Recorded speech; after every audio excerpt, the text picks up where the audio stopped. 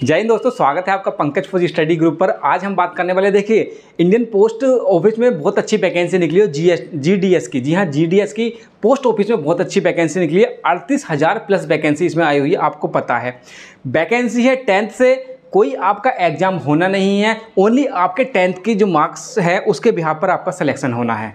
काफ़ी अच्छी वैकेंसी है और काफ़ी बच्चे इसमें अप्लाई भी कर रहे हैं और अभी टाइम इसका है। अभी टाइम है अप्लाई कर सकते हैं। लेकिन जो डाउट आता है ना बच्चों के मन में कि क्या सर हम इसमें अप्लाई करें? क्या भर्ती पहले से सेट हो गई? क्योंकि अभी आई वाले देख रहे हैं कि उसमें कुछ ना कुछ जो मुन्ना भाई थे वो पकड़े गए हैं। तो काफ़ी बच्चे कन्फ्यूज़न में है कि इसमें अब क्या होने वाला है? क्या हमारा लो मैरिड है? तो क्या सिलेक्शन हो जाएगा? या दूसरी तरह की बहुत ज़्यादा कन्फ्यूज़न इसमें वीडियो में बच्चे क्वेरी कर रहे थे पर्सनली मुझसे पूछ रहे थे कि सर क्या हमारा सिलेक्शन हो जाएगा? नहीं होगा? तो इस वीडियो हम यही सब कुछ जानने वाले हैं। चैनल पर पहली पहली बार आए तो सब्सक्राइब कर लीजिएगा। ऐसे ही वीडियो हम आपके लिए लाते रहते हैं। चलिए वीडियो शुरू करते हैं।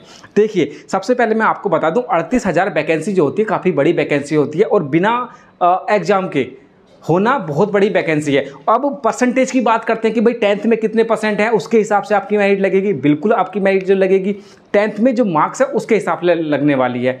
लेकिन क्या हम उस बेस पे, अगर मेरे नंबर टेन के हिसाब से कम है तो क्या मैं फॉर्म नहीं भरूँ?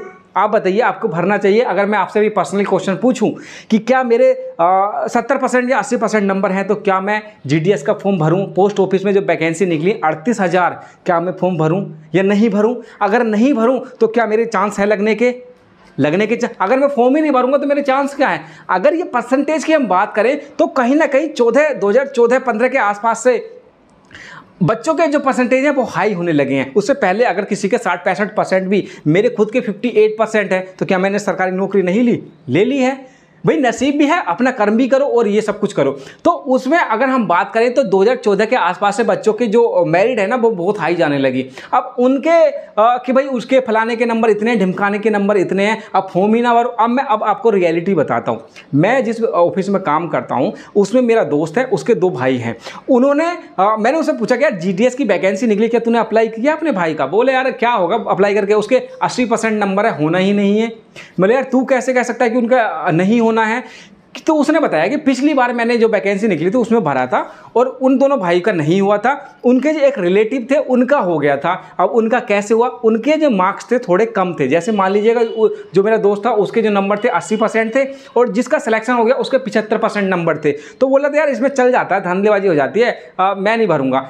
तो मैंने उसको समझाया कि भाई देख जो मैरिड होती है ना मैरिड आपके नंबर पे बेशक है कि भाई आपके जो हाई स्कूल में मार्क्स है, उसके हिसाब से मेरिट लगेगी, लेकिन कहीं ना कहीं वेरी करता है कि आप किस सेंटर से आप फॉर्म अप्लाई कर ले ये जो मेरिट बनेगी ना, आप समझ ले रहे हो मेरिट कैसी बनेगी। मेरिट बनेगी आपकी पोस्ट ऑफ़िस वाइज अगर मान लीजिए किसी पोस्ट ऑफ़िस में दस ही बंदों ने अप्लाई किया तो उन दस की मेरिट बनेगी और किसी अच्छे लोकेशन पर आपने पोस्ट ऑफ़िस में अप्लाई कर दिया, वहाँ पर एक हज़ार बच्चों ने अप्लाई किया है तो उन एक हज़ार की मेरिट बनेगी। आप समझो मेरी बात। आप फॉर्म ही अप्लाई नहीं करोगे तो भाई आपका होगा कहाँ से? और रही धांधले की बात, मैं आपको गारंटी लेता हूँ कि इसमें एक भी रुपए का धांधली नहीं चलती, बिल्कुल प्योर और निष्पक्ष। निष्पक्ष बिल्कुल वैकेंसी ये क्लियर होने वाली है। तो आपसे मैं ये उम्मीद करता हूँ एज ए छोटे भाई या बड़े भाई जो भी समझिए कि आप इसमें अप्लाई करेंगे। और बच्चे देखिए, कितने शार्प माइंड भी बच्चे होते हैं कि कुछ बच्चों ने, क्योंकि अलग अलग डिस्ट्रिक्ट से अलग अलग लोकेशन से आप अप्लाई कर सकते हैं। तो बहुत सारे बच्चों ने ऐसा भी किया कि साठ साठ यहाँ पचपन पचपन चालीस चालीस भी वैकेंसी के लिए अप्लाई फॉर्म किया है। क्योंकि, देखिए जर्नल हैं और ओबीसी हैं। आपको सौ रुपये का फॉर्म फ़ीस लगने वाली है। लेकिन इससे अलग जाए तो उनको कोई भी वैकेंसी से कोई भी फ़ीस नहीं लगने वाली। अब मेरे जो, जिसकी मैं बात बता रहा हूँ कि उसने सत्तर सत्तर फॉर्म अप्लाई किए हैं, जैसे साठ साठ अप्लाई किए हैं, उसकी वो एस में है और उसने कोई भी फॉर्म फ़ीस दी जानी नहीं है। तो उसने जितने भी फॉर्म थे, जितने फॉर्म थे हर जगह से उसने भर दिया है। बसरते एक चीज़ ध्यान रखना कि जहाँ से आप फॉर्म फिलअप कर रहे हैं, वहाँ की लोकल लैंग्वेज की आपको जानकारी होनी चाहिए, क्योंकि लोकल लैंग्वेज की जब तक जानकारी नहीं होगी ना, आप नौकरी कर नहीं पाएँगे। अगर मान लीजिए महाराष्ट्र में चले गए, आपको नॉलेज ही नहीं है वहाँ की कैसे बात करनी है तो आप कैसे नौकरी करेंगे? सर्वाइव करना मुश्किल हो जाएगा। फॉर्म डालिए। अगर आप जर्नल में भी हैं ओबीसी में भी है सौ रुपये का फॉर्म पड़ रहा है तो क्या दिक्कत है यार? आ, आ, सरकारी नौकरी है ध्यान रखना ये मत सोचना कि पोस्ट ऑफ़िस की है या कूड़े कपड़े वाली है या मैं किसी को क्रिटिसाइज नहीं कर रहा हूँ कि कूड़ा उठाना या किरना उठाना गलत बात है। एक वो होता है तो वैकेंसी सरकारी है। जब सरकारी का ठप्पा लग जाता है ना एक बार कि सरकारी तो सरकारी एक मतलब अच्छे रेस्पॉन्सिबल और एक रेस्पेक्ट मिलने लगती है। तो वैकेंसी अच्छी है, अड़तीस हज़ार प्लस वैकेंसी है साफ़ सुथरी वैकेंसी होने वाली है। परसेंटेज को मत जब ये वरीयता दीजिए कि यार मेरे तो सत्तर परसेंट ही है, मेरे नब्बे परसेंट है, मेरा हो जाएगा। नब्बे परसेंट वाला रखा रह जाएगा।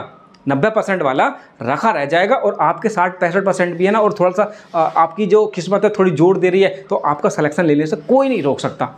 कोई नहीं रोक सकता। सौ रुपये की मात्र फ़ीस की बात है। सौ रुपये नहीं, आप चार फॉर्म भरिए, दस फॉर्म भरिए, आपको जो लगता है लो कि भाई मैं बिहार से भी डाल सकता हूँ यूपी से भी डाल सकता हूँ यहाँ से भी डाल सकते तो ऑनलाइन देखिए उसकी फॉर्म की जो नोटिफिकेशन नोटिफिकेशन बहुत लंबा है लंबा चौड़ा है नहीं पढ़ पाओगे उसको। तो ओ, ओ, जब फॉर्म भरने जाएँगे ना तो उसमें देखिए कि आप कहाँ कहाँ से आप फॉर्म भर सकते हैं। फॉर्म भरिए मेरिट डाउन जाएगी। मेरिट मैंने बताया पोस्ट ऑफ़िस के हिसाब से बनती है। तो ये मत सोचिए कि यार मेरे बराबर वाला है कि नब्बे परसेंट है मेरा तो नहीं होगा। आपका होगा देखिए उसका नहीं होगा। लेकिन जब आप फॉर्म ही अप्लाई नहीं करेगा तो कहाँ से हो जाएगा दोस्त? तो मेरा तो आपसे पर्सनली ये रिकमेंड करूँगा कि फॉर्म भरिए। सैलरी की बात जहाँ आ जाती है कि सैलरी इसमें बारह हज़ार रुपये है, दस हज़ार रुपये है। तो क्या आप गुजारा कर पाएँगे? बिल्कुल कर पाएँगे नो डाउट जब एक बार सरकारी का ठप्पा लग गया ना तो आप तो बिल्कुल कर लोगे मुझे पता है। आप समझिए जो मैं कहना चाह रहा हूँ कि आप नौकरी आ, करना नहीं करना वो सेकंड थिंग है। एक स्टेप तो बढ़ाइए एक कदम तो बढ़ाइए नौकरी की तरफ़। अगर आप नौकरी की तरफ़ कम कदम बढ़ाते तो यार कुछ कुछ ना भगवान ने भी आपके लिए सोचा हुआ है। आपका हो जाएगा कहीं ना कहीं। मैं ओनली आपको इंस्टिंट कर रहा हूँ आपको मोटिवेट कर रहा हूँ कि यार फॉर्म भरिए। बहुत अच्छी अपॉर्चुनिटी है। और इसके बाद जब आप एक दो साल कर लेते हैं तो आपके रास्ते खुल जाते हैं।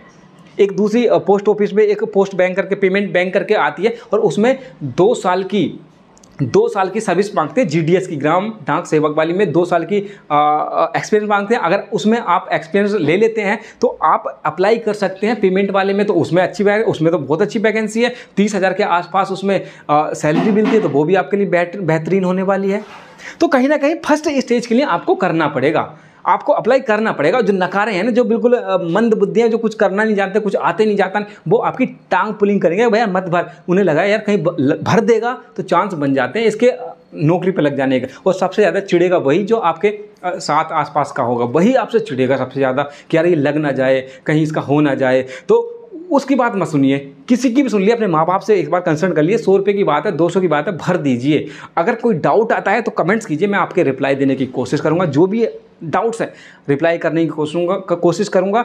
और आ, कोई भी जानकारी इस वैकेंसी से जीडीएस की वैकेंसी से रिलेटेड आती है मैं आपको प्रोवाइड कराने की कोशिश करूँगा कि देखिए हमारा एकमात्र लक्ष्य है कि आपको आपको नौकरी दिलाना आपको मोटिवेट करना आपको यार इंस्टिट करना कि भाई भरिए नौकरी करिए अभी नहीं करी तो कुछ टाइम बाद एट्थ पे कमीशन लगने वाला है। और कुछ बच्चे ऐसे होंगे कि यार उनकी एज निकलने वाली है। तो जो भी अपॉर्चुनिटी जिस टाइम में आपको मिल रही है ना, उसको गेन कीजिए कि कल को पछताना ना पड़े। बच्चे बोलेंगे आपसे कि भाई पिताजी, वो जी वाली वैकेंसी निकली थी, क्या हुआ आपने? तो क्या हुआ? बोले, यार, मैंने भरा ही नहीं।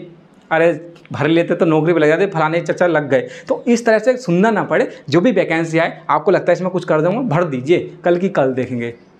ठीक है? तो आई मैं आपसे एक्सेप्ट करता हूँ कि आप फॉर्म भरेंगे और आपके परसेंटेज कितने हैं हाई स्कूल इंटर में? या कि, किस तरह की आपकी वैकेंसी आई कमेंट्स करके बोल दिए कि आपके हाई स्कूल में कितने परसेंटेज हैं और आप कहाँ से अप्लाई करने वाले हैं। तो इस वीडियो में इतना ही मिलते हैं अगले किसी वीडियो में। चैनल सब्सक्राइब कर लीजिए दोस्तों। तब तक के लिए जय हिंद।